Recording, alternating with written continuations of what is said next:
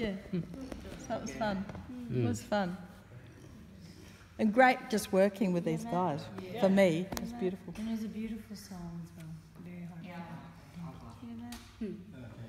Yes. Um, I'm about to say, I, my mum told me I can't sing, but hmm. I'm singing I sang because I never ever sang in front of all of you. This is my first time singing this. I reckon that's, I think that's a wrap. So let's go and eat. Yeah. Wait, wait. Oh, one more thing. One more. Oh, he says. Oh. I'm gonna say something. As all, as assistants like, um, every group have a, a unique, different sound and different thing. I haven't done it before yet, but this is fantastic.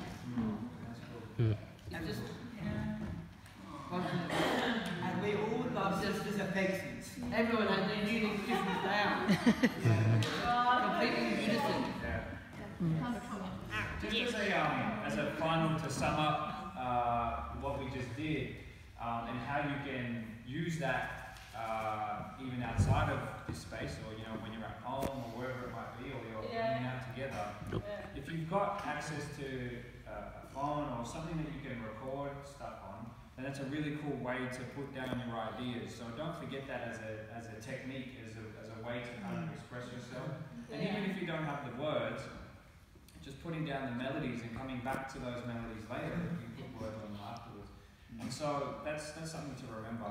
And what we'll do after lunch is we'll focus on words and ideas and how we can turn what we're thinking about turn it everyone.